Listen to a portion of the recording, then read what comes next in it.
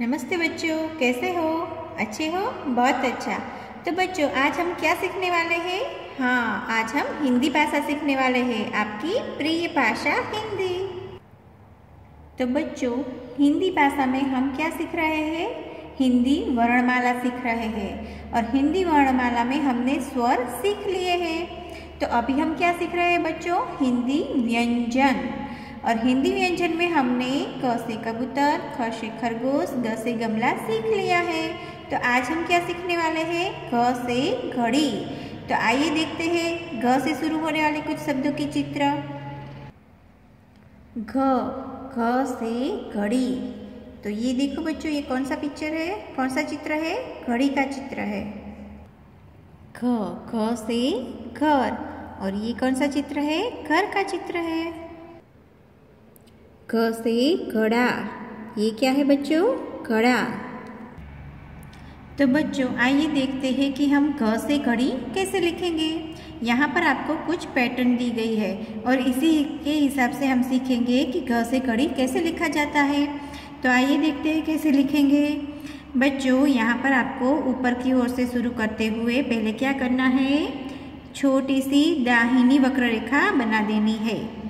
ये छोटी सी दाहिनी वक्र रेखा हो जाने के बाद उससे जुड़कर दूसरी, छोटी सी दूसरी दाहिनी वक्र रेखा नीचे की ओर बनानी है।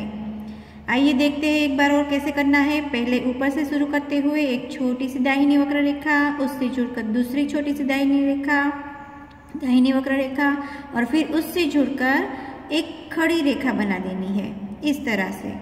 आइए फिर से लिखते हैं, क्या करेंगे? दाहिनी वक्र रेखा, उससे जुड़कर दूसरी दाहिनी वक्र रेखा, उससे जुड़कर एक खड़ी रेखा। और हिंदी में हम क्या करेंगे? ऊपर की ओर आड़ी रेखा। तो ये हो गया हमारा घ से घड़ी। इसी तरह से हमें घ से घड़ी लिखना है। तो बच्चों, अब हम घ से घड़ी हमारी हिंदी की बुक में लिखेंगे। देखो यहाँ पर क्या लिखा है? बिंदुओं के ऊपर लिखो घ तो बच्चों, हमने आपको सिखाई दिया है कि बिंदुओं के ऊपर क कैसे लिखा जाता है। तो उसी के हिसाब से आपको ये पूरा पन्ना लिखना है। तो बच्चों, अब हम क्या सीखेंगे? क से कड़ी बिना बिना बिंदुओं के कैसे लिखा जाता है? यहाँ पर क्या लिखा है? बोलो और लिखो ख ख से घड़ी और ये कौन सा चित्र है? घड़ी का चित्र है। तो बच्चों, यहाँ पर आपको बिंदुओं के ऊपर लिखना है तो पहले एक बार पुनरावर्तन कर लेते हैं। यहाँ पर आपको चार रेखाएँ दी गई है और हिंदी अक्षर कहाँ से लिखना शुरू करना है? दूसरी रेखा से। तो आइए शुरू करते हैं। पहले हम क्या करेंगे? छोटी सी दाहिनी वक्र रेखा, दूसरी रेखा से लेकर तीसरी रेखा तक। फिर उससे जुड़कर छोटी सी दूसरी दाहिनी वक्र रेखा और वो वक्र रेखा को आपको तीसरी रेखा तक ही ले जाना है। फिर उससे जुड़ते हुए आपको एक खड़ी रेखा बना देनी है, दूसरी रेखा से लेकर आखिरी रेखा तक। और ऊपर की ओर हम क्या करेंगे? छोटी सी आड़ी रेखा। तो इसी तरह से हमें बिंदुओं के ऊपर लिखना है।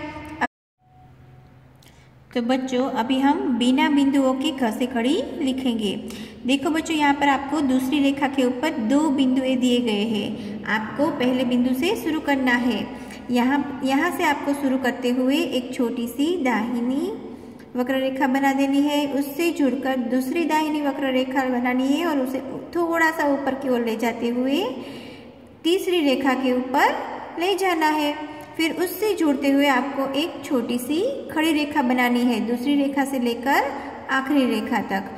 और हिंदी शब्द, हिंदी अक्षर में क्या करना आवश्यक है? ऊपर की ओर आड़ी रेखा। तो इसी इसी हिसाब से आपको घ से खड़ी बोलती, बोलते लिखना है। कैसे लिखोगे? घ से घड़ी। घ से घड़ी। तो इसी तरह से आपको ये पूरा पन्ना लिखना है।